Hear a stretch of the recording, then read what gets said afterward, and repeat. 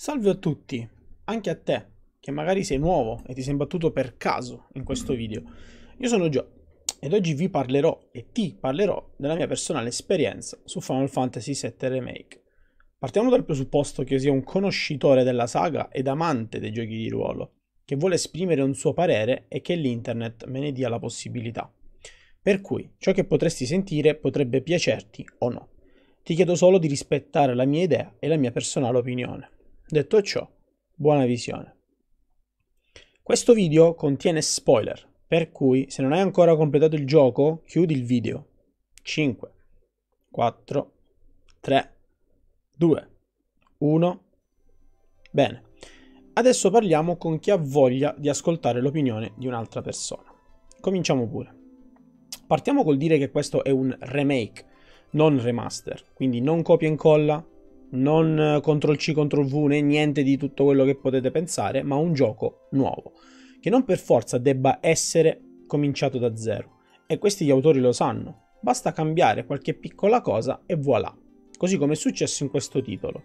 Ci sono diversi punti che mi hanno colpito e che quindi voglio analizzare con voi. 1.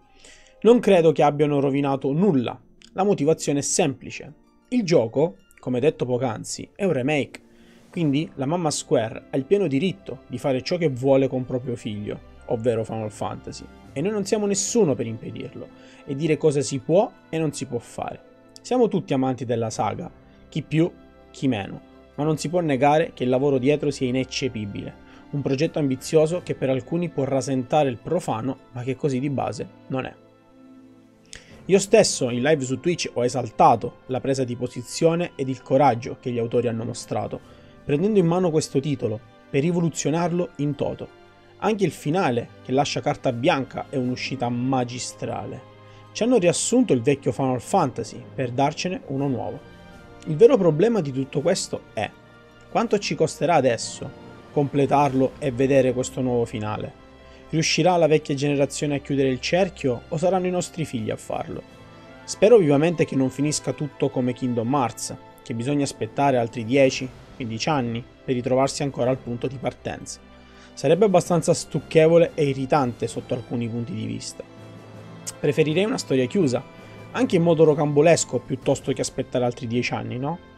Per cui, se vogliamo parlare di aspettative, non sono assolutamente insoddisfatto, ma forse un po' impaurito per quello che sarà il futuro del progetto.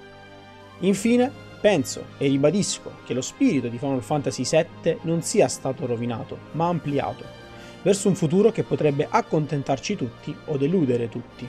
Quindi sarà un vero e proprio tutto o niente. Non ci resta che aspettare e vedere che cosa succederà. 2. Eris non ce l'ha raccontata giusta. Ragazzi, è abbastanza palese che Eris rappresenti lo spirito vero e proprio di questo remake. Lei sa già tutto e permette anche agli altri di sapere tutto, semplicemente toccandoli. Attenzione però, da quello che si vede, lei è capace a far vedere solo quello che vuole, in modo tale da essa stessa non fare spoiler. Ovviamente grazie. Ci sono diverse scene che rappresentano la sua onniscienza. Farne un elenco sarebbe abbastanza ridondante. Però alcune di quelle scene che mi sono rimaste in testa sono quella dove ammette di conoscere Sephiroth, distogliendo lo sguardo da Cloud che in quel momento parlava di lui, nelle scene delle fognature, dove afferma a Tifa che il futuro si può cambiare dove recupera Marlen e le fa promettere di mantenere un segreto. A proposito di Marlen, quando Barrett le dice che deve andare a salvare Eris e quindi deve andare via, avete notato che la bambina stava per dire tutto e poi si è bloccata da sola? Brava bimba, nessun spoiler please. Ma tornando a noi, Eris rappresenta la volontà di cambiare il futuro e quindi un remake di ciò che effettivamente sarà, sia il gioco che il suo destino. Alla fine anche lei si ritroverà spaesata e senza sapere ciò che effettivamente sarà il futuro. Forse un messaggio che ci è stato lasciato dagli autori, dove Eris, incarnando il remake, ci sta dicendo che il futuro sarà diverso. Bello o brutto non lo sappiamo, ma diverso. Quindi per assurdo potremmo anche constatare che i Numen in realtà siano i puristi, ovvero coloro che volevano Final Fantasy VII come prima ma in una nuova veste HD? Quindi ogni personaggio rispecchia una volontà diversa. Cloud, ad esempio, cosa rappresenterebbe? I dubbi dei nuovi giocatori? Di quelli vecchi? Chi lo sa. E Zack? La volontà di perseverare, di continuare nonostante tutti gli vadano contro? Nomura, cosa stai cercando di dirci? 3. I Numen, chi sono? Fondamentalmente sono i protettori del destino del mondo, a quanto ci viene detto. Inizialmente pensavo potessero essere gli antichi, ovvero i Cetra, dato che comunicavano e proteggevano Eris in determinate situazioni. Il dubbio si dilegua quando poi effettivamente sono tutti a poterli vedere, o meglio, tutti coloro che interagiscono col destino e che tentano di cambiarlo. Guardasi l'Avalanche, che voleva partire in missione senza Cloud, facendo in modo di renderlo partecipe, slogano la caviglia Jesse.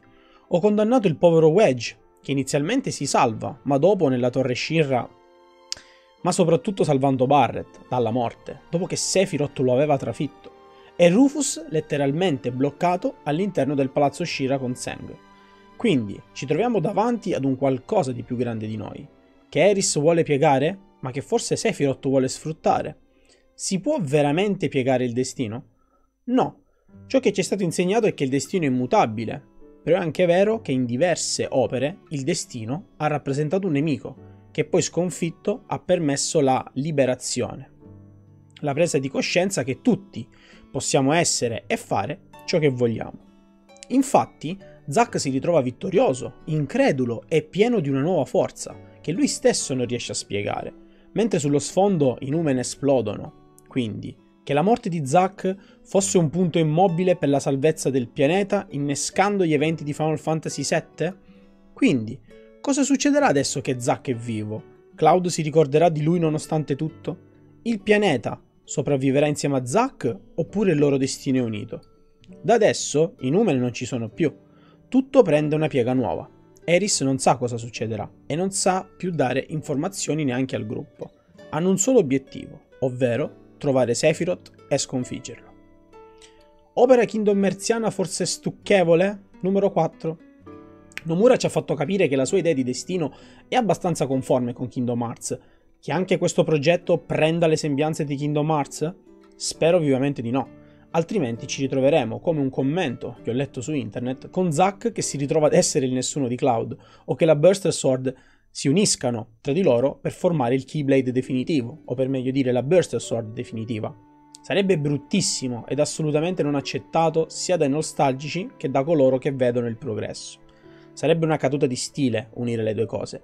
Kingdom Hearts è una cosa, Final Fantasy un'altra. Vi prego, non fate questo errore. Io personalmente non accetterei nulla di tutto ciò. L'unica mia preoccupazione è questa, che Final Fantasy possa incarnare le interazioni e soprattutto le idee di Kingdom Hearts. Io voglio un'identità ferrea per Final Fantasy, non voglio che sia ricordato come una copia di Kingdom Hearts.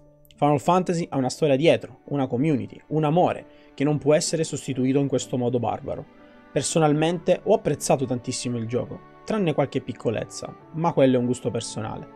Però, su quello che è il nome di Final Fantasy, io e credo tutti gli amanti della saga non vogliamo nessuna contaminazione. E non si sta parlando di innovazione, futuro, progresso o cambiamento, ma di vera e propria influenza. Le similitudini sono già parecchie, come le realtà parallele, o peggio, i viaggi interdimensionali con interazioni di spazio e tempo. Final Fantasy è bello nella sua semplicità. Vi prego, non traditelo. Cosa avremo in futuro? Il futuro è incerto. Forse due realtà differenti, ma con uno scopo comune. Bisognerà sistemare i nuovi eventi e farli coincidere con quelli vecchi. Oppure mandiamo tutto all'aria e facciamo come ci pare a noi.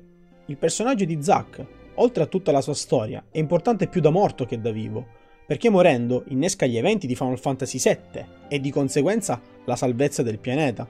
Quindi, cosa succederà a Cloud? Cosa succederà ai suoi ricordi? Ma soprattutto, cosa succederà a Zack? Lo giocheremo nella parte 2? Avremo una nuova storia per lui? Che insieme a Cloud combattano per qualcosa? Come interagiranno i due Cloud tra loro? Ma soprattutto, si incontreranno mai? I dubbi e le domande sono letteralmente infinite. Potremmo parlare di Zack anche per ore, ma la vera questione è sempre la stessa. Dove andremo a finire in tutto ciò? Purtroppo queste sono cose che io non posso sapere. Mi auguro solo di godermi e potermi divertire così come ho sempre fatto quando ho parlato o giocato un Final Fantasy. Numero 6. Sephiroth buono oppure opportunista?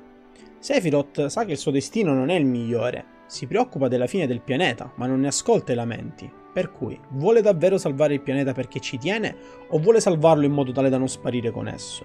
Lui è già morto, lo sappiamo tutti, ma se il destino potesse cambiare insieme a quello degli altri, ci ritroveremo ad avere un Sephiroth amico o nemico? L'obiettivo finale è lui, al momento. Cloud lo afferma alla fine. Solo che da questo momento in poi anche Eris non sa che cosa succederà e per l'appunto il viaggio ignoto sta per cominciare. Quindi non ci resta che aspettare e vedere che cosa succederà. Avremo la possibilità di capire realmente le intenzioni di Sephiroth, di scoprire chi è veramente, anche perché il boss finale non è rappresentato dal vero Sephiroth, ma da un'unione dei Numen che gli hanno dato forma. Lui ci ha sempre aspettato ai confini del mondo, aprendo quel portale che manco Vergil in Devil May Cry poteva fare meglio. Ma vabbè, scherzi a parte. Sephiroth è decisamente più forte di Cloud, come sottolinea il fatto che nello scontro finale lo disarma con una facilità impressionante, dicendogli che non è ancora pronto e che addirittura avrebbe potuto unirsi a lui per salvare il pianeta. Ma è davvero questo il suo scopo? Il pianeta? Io non credo.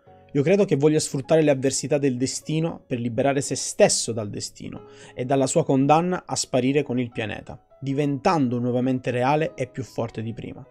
Genova è sparita, Hojo lo vede e se ne compiace. Quindi Sephiroth, cosa vuoi davvero? Con la sconfitta dei Numen è stato davvero liberato?